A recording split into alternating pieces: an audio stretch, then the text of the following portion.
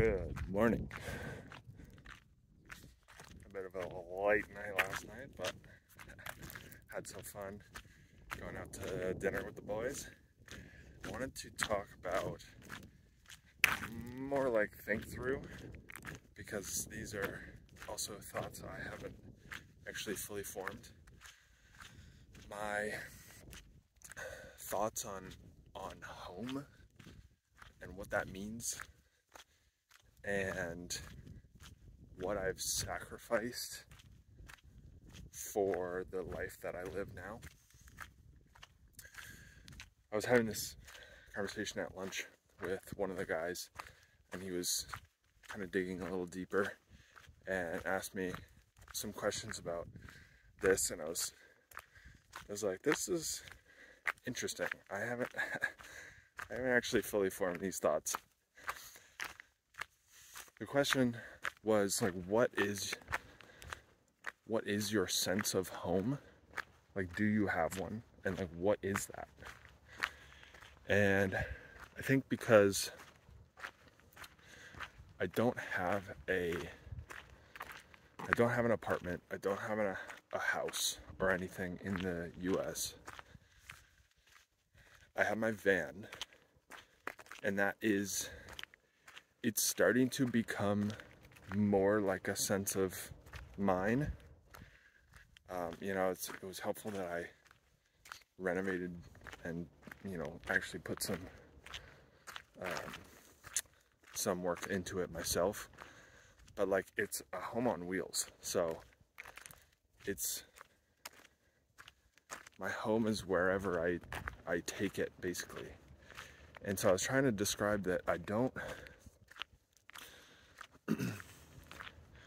the closest place I could consider a home is Denver, Colorado. But only because I liked Denver, I liked the mountains, I liked the location. Um, the city was was fairly decent. Uh, you know, I've wasn't perfect, but and it worked really well for urban van life there. But like what what even is like I think we need to take a step back and define what it even means to to like what home even means. And to me, I think it's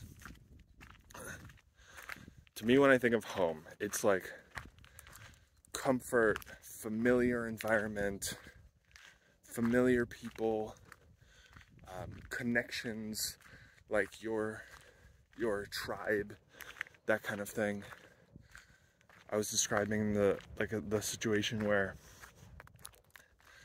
I would imagine home is like the place where you know you you, you go to the same coffee shop on and on the third day in a row or whatever like you know the barista and like the the guy sitting over there like you've talked with him and like you just know people. And like on you know Tuesday night you go to the run club and like you know John and Sally from there whatever. And so I think home is this like feeling of connectedness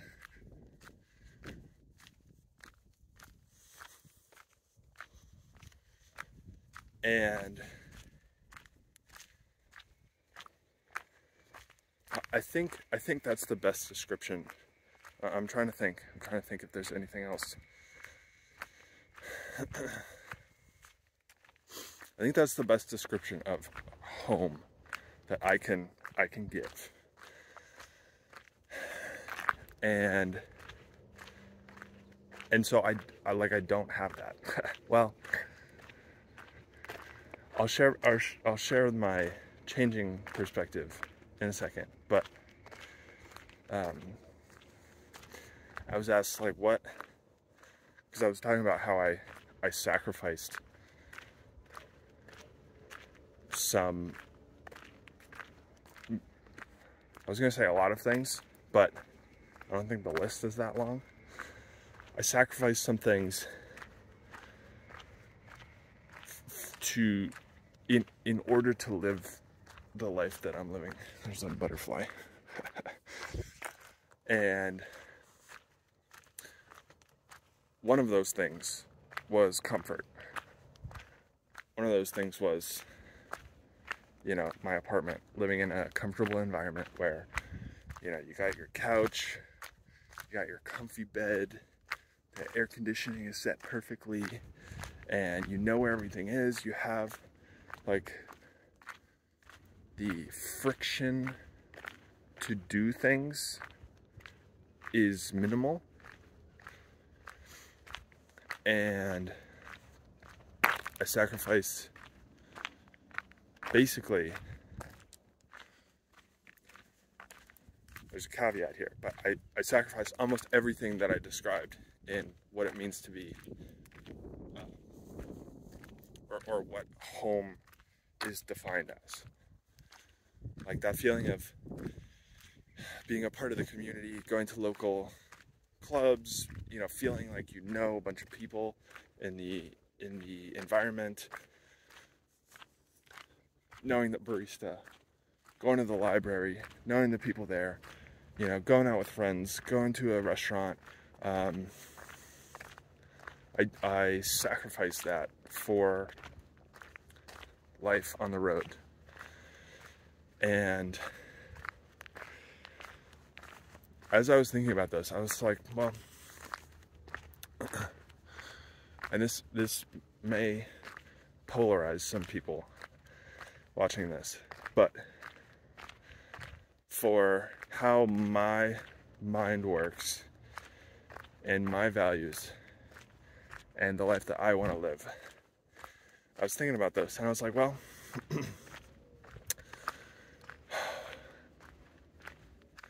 I've always liked deep conversations about life, figuring life out, you know, pushing for better.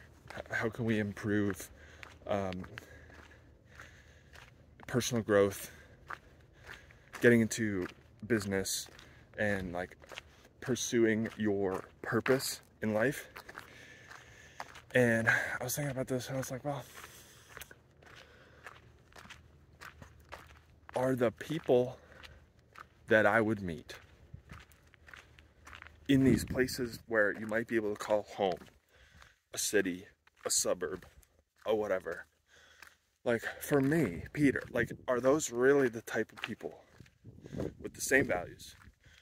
Uh same like self-improvement, personal growth, working on their business, you know, grinding out on a Saturday or Sunday. Um, it's like, well, I think there are just so few people that are doing this that it's hard to find in these environments. And so, you know, something that I've really learned and discovered the past since basically Bali is that there are people out there and they are spread amongst the world as well as I would say, you know, they are, they, what's the word? Um, commingle, coagulate. they come to like hotspots, like digital nomad places, Southeast Asia, and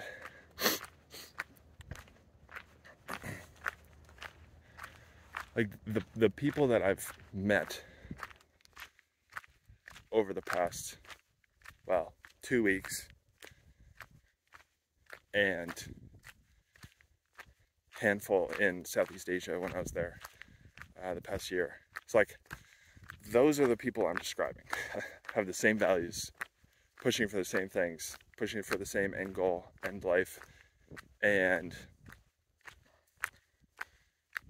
I think the the sense of community is out there to get, to to integrate with. It's just not traditional. And that's okay. And so I think to bring it back to home,